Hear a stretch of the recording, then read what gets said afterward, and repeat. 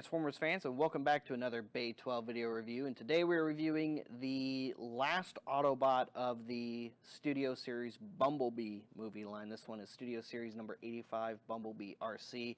This is probably the one I've been looking forward to most out of the Autobots.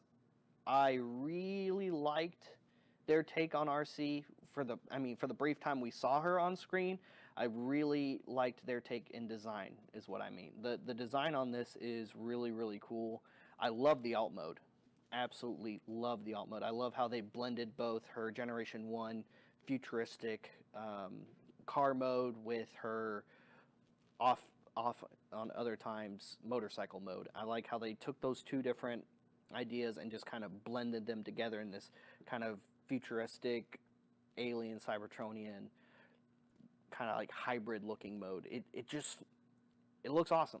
It looks really awesome. Can't wait till we get to that point in the video. Anyway, here she is in the package. Um, you've got an awesome, mostly full body uh, bit of artwork of her character model from the movie. Um, you've got that on the side panel here. You've got her number and her profile right there. On the back, you've got her in both modes. And that's pretty much it for the box. And just like the rest, of the Studio Series line, she of course does come with a backdrop you can display her on. And this is the same one that comes with a lot of the Cybertronian mode Autobots. You just got that big bridge in the background. You've got some Seekers in the background doing some Seeker things. You've got some Autobots. You got B-127 charging in the battle. So, yeah, you got some cool stuff there on that. And that's pretty much it for the packaging. Um, she comes with two little blaster pistols here, so she does come with a couple of little awesome accessories, and she can dual dual wield those, which I really like. There we go. And she's actually very articulated, and, and she has some pretty cool detailing. So I like, in, in the package, they have her little backpack bits flared out, and what's really cool is it, it looks like it's a jetpack. It looks like she's got these little wing thruster bits here that just kind of protrude out. Now, um, they're supposed to be, you know, kind of just flush against her back like this. They don't really peg into anywhere, which is kind of strange. They're just free floating and articulated. Um, I like the little metallic gray line bits and the little metallic gray detail on the thrusters there.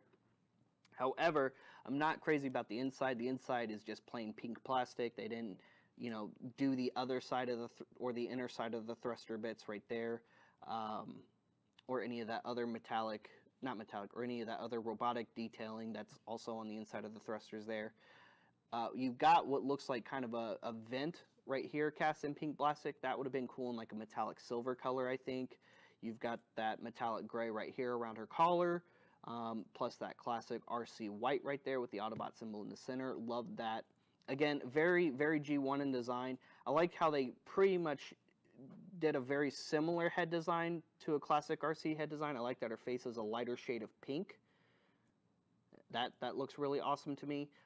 Um, but I also like how they kind of sleeked up her head design a little bit with those classic Princess Leia cinnamon bun things that they did with her original design. I like how they just kind of sleeked it down, made her made her head just more um, spherical than than in, than ovular in the past. She is fully articulated. Head is on a ball joint. And that, that does come up a little bit, but that's due to transformation. Fully articulated shoulders, upper bicep, double jointed elbows, and that's mostly due to transformation, but hey, it works for the robot mode too. Wrist joints go in and out, and that's pretty much it. No rotation or anything on the wrist. Waist, hips, upper thigh, a knee joint right here, and a joint right here above the ankle, which is nice, so you can get some pretty cool posing with that. And you do have that side-to-side -side ankle joint right here as well, and that's pretty much it for her robot mode articulate. Oh, well, I mean, also the thruster bits. Those are on a ball joint. These, these do rotate on a swivel joint as well, which is kind of nice to have.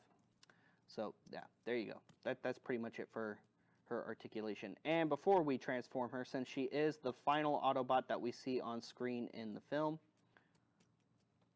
here she is with all of the rest of the Autobots that we see on film. So here she is with Ratchet, Wheeljack, Brawn, Cliffjumper, Ironhide,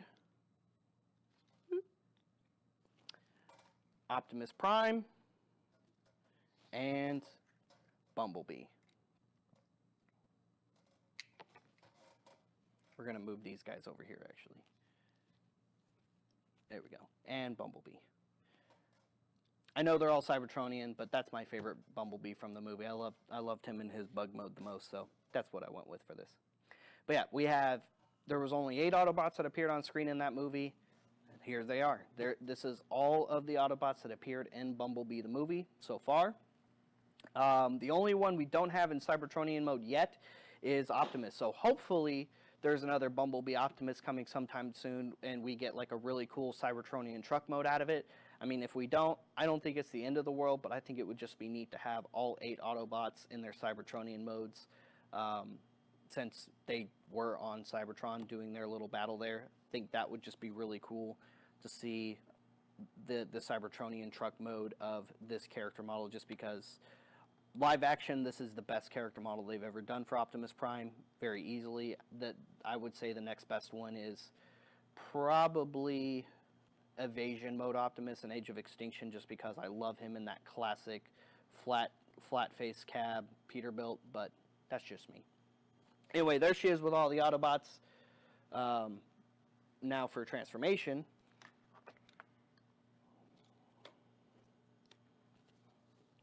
Uh, she she is a pretty cool transformation, and her again her alt mode I absolutely love. So uh, we're gonna start by kind of flaring out these uh, little thruster bits here. We're gonna pull up on that little joint there that I was talking about earlier. We're gonna pull back on all of this, so we're just gonna kind of like accordion her, I guess. And then we're gonna come to the waist. We're going to rotate that around we're going to come down to the legs. We're going to extend that a little bit just so it's out of the way. We're going to twist that ankle to the side and then we're going to rotate her feet all the way around and clip them back. And, and you want this kind of flat against that bit and then we're going to click that back into place. Do the same thing over here. Rotate that foot around. Click that back into place. And then the wheels do peg into each other and these do roll, which is pretty cool. We're going to peg those together. Next, there's a, a, few little peg holes right here on the thighs and on the shins right below the knee. And then there's pegs on these little bits. So we're just going to kind of extend all this stuff out. We're going to fold that head in and then we're going to bring that bit down. So now that that's all nice and straight, we're going to just kind of line up and peg that all in. So it's a, it's a pretty nice and, and clean transformation, I think. Next, we're going to bring her torso back. There's two little pegs right here. There's two little pegs right there. And we're just going to attach all that together. Next, we're going to come to the arms. We're going to, on that secondary elbow joint, we're going to fold that in all the way on both. Actually, no, I think it's that first one. Yeah. And then we're going to bring her little thrusters around and down. And there's a little tab right here, and there's a little hole right here. We want to peg that in like so, and then there's a tab right here. There's a little hole right here. And we're going to peg that into the thigh. So that's all going to peg together. My, my only real complaint about this alt mode is the hands. Um, the hands just kind of, once, once we get all that, the hands just kind of uh, fold inward at the wrist onto the back.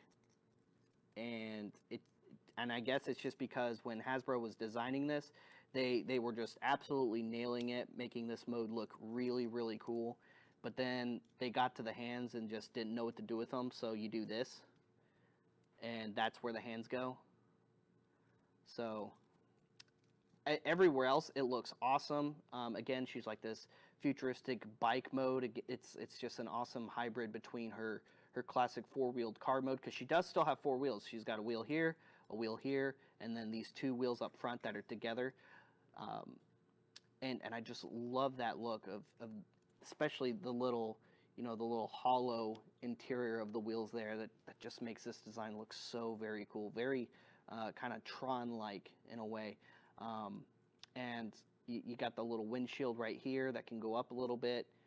That's that's really awesome. It, just a lot of this design is so very cool. It's just once you get to the hands it's like what do i do with these hands?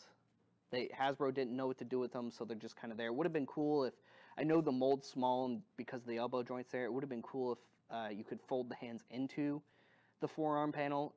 I think that would have looked a little bit better than just having these, you know, just hands sticking out of the back of her bike mode. Um, you can put her uh, blaster pistols on her bike mode.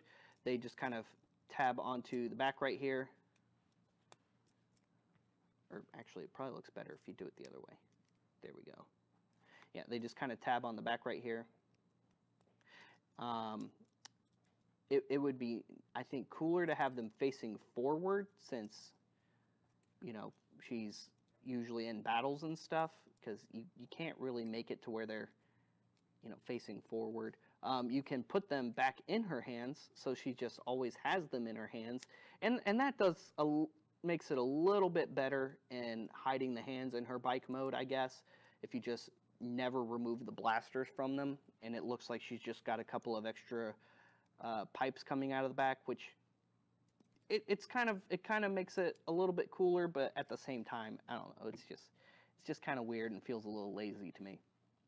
But other than that, I absolutely love this figure. Um, again, this was probably the Cybertronian mode I was looking forward to the most other than Bumblebee, of course, because that that Cybertronian form was just really cool in him. Um, but I, I just absolutely love the way they did Arcee, and I'm glad they didn't just skip Arcee and move on to, you know, Rise of the Beast or something else in Bayverse. So there you go. Guys, thank you so much for tuning into this review today. Make sure you go check out other Bay 12 content, like and subscribe.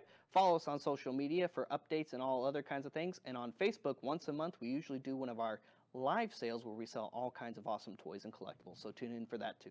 Catch us at local cons, filming all kinds of different content for your view viewing pleasure. Hang out with us and come meet with us because we like to hang out with you guys too. Make sure you leave comments on our videos. We'll see you guys later. We'll see you another time.